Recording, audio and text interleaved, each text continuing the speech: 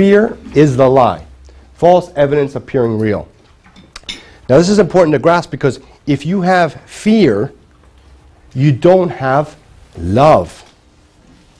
Fear and love are opposite on the spectrum. You're spiritually connected, or you will become more spiritually connected.